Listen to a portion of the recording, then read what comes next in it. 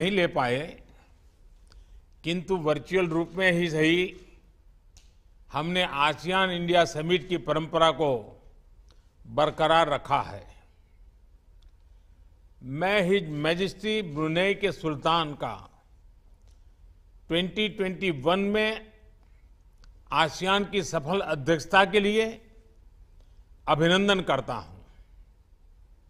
Your majesty excellencies Covid 19 महामारी के कारण हम सभी को अनेक चुनौतियों से जूझना पड़ा।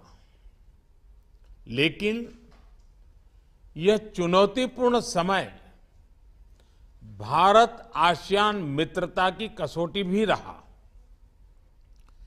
कोविड के काल में हमारा आपसी सहयोग आपसी संवेदना, भविष्य में हमारे संबंधों का बल देते रहेंगे। हमारे लोगों के बीच सद्भावना का आधार रहेंगे। इतिहास गवाह है कि भारत और आसियान के बीच हज़ारों साल से जीवंत संबंध रहे हैं।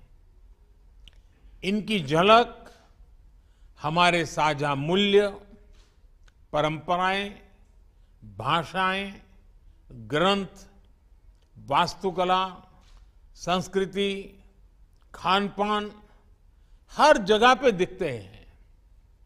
और इसलिए आसियान की यूनिटी और सेंट्रलिटी भारत के लिए सदैव एक महत्वपूर्ण प्राथमिकता रही है।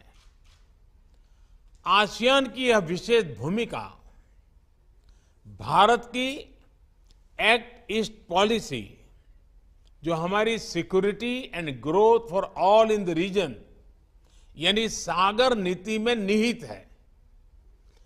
भारत के इंडो पैसिफिक ओशन इनिशिएटिव और आसियान के outlook for the Indo Pacific Indo Pacific क्षेत्र में हमारे साझा विजन और आपसी सहयोग का ढांचा है।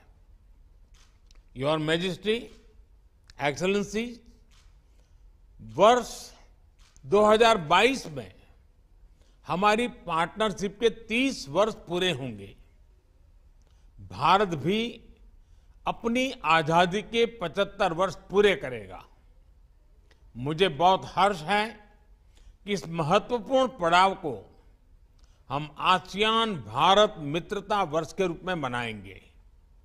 भारत आगामी अध्यक्ष कंबोडिया और हमारे कंट्री को कोऑर्डिनेटर सिंगापुर के साथ मिलकर आपसी संबंधों को और गहन बनाने के लिए प्रतिबद्ध है। अब मैं आप सभी के विचार सुनने के लिए आतुर हूँ। बहुत बहुत धन्यवाद।